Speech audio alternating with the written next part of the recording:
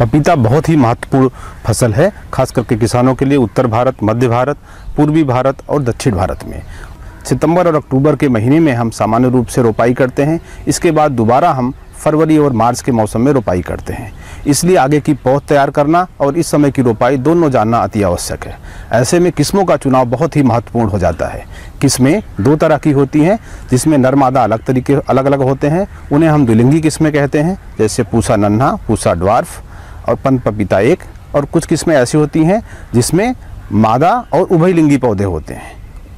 उनमें हैं जो प्रजातियाँ, उनमें Arka Surya, Arka Prabhat, red lady, Sinta, ये ऐसी प्रजातियाँ हैं जिसमें सभी पौधों में फल आता है। अगर आप पूसा नन्हा या पूसा ड्वार्फ जैसी किस्मों का चुनाव कर रहे हैं तो आपको पौध से पौध की दूरी एक दशमलव पाँच मीटर या पाँच फीट कह सकते हैं, और वही आपकी कतार से कतार की दूरी होगी। इसी इसी क्रम में अगर आप उभयलिंगी किस्मों का चुनाव कर रहे हैं, जिसमें अर्का प्रभात या रेड लेडी या सिंटा जैसी किस्में हैं तो आप पौध से पौध की दूरी को एक दशमलव आठ मीटर रखिए और कतार से कतार की दूरी को एक दशमलव आठ मीटर, या अगर आपको कोई और शस्त्र क्रियाएँ बीच में करनी है तो आप दो दशमलव एक मीटर भी रख सकते हैं। इस तरह से करेंगे तो आपको एक हेक्टेयर में करीब तीन हज़ार के आसपास पौधे प्राप्त होंगे। अब यहाँ पर रोपाई का समय मैंने आपको पहले ही बता दिया। अगला महत्वपूर्ण मुद्दा यह है कि आपको पौध कहाँ से मिलेगी और बीज कहाँ से मिलेगी। अगर आप नए किसान हैं तो कोशिश करें कि आप पौध को कहीं से प्राप्त करें। किसी निजी संस्थान या सरकारी संस्थान से। पूसा में, पूसा के दो रिसर्च सेंटर जो हैं, वो पूसा समस्तीपुर, बिहार, वहाँ पर आपको पूसा ड्वार्फ का बीज मिल जाता है और पौध भी मिल जाती है। लेकिन जहाँ तक हमारे इंदौर सेंटर की बात है, जहाँ पर पूसा नन्हा का बीज मल्टीप्लाई किया जाता है, वहाँ से आपको पूसा नन्हा का बीज मिल सकता है।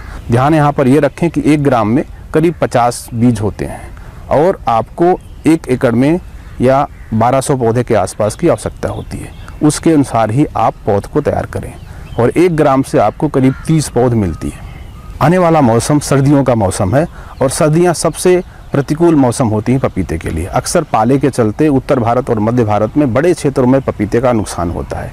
यहाँ पर हम किसानों को सलाह ये है कि जो भी अगर आपकी फल लगे हुए हैं और वो परिपक्व हो रहे हैं 125, 130, 135 दिन के हो रहे हैं तो हर हालत में उनकी नवंबर के आखिरी सप्ताह तक तुड़ाई कर लें और उनको बाज़ार में बेच दें। वो कमरे के तापक्रम पर पकने की अवस्था में आ जाते हैं। 15 दिसंबर से लेके 15 जनवरी का जो मौसम होता है उस समय काफ़ी पाले पड़ते हैं और पाले के वो अनुकूल मौसम होता है। उस मौसम में अ, हम मौसम की भविष्यवाणी का ध्यान रखें और प्रति सप्ताह हल्की सिंचाई करते रहें।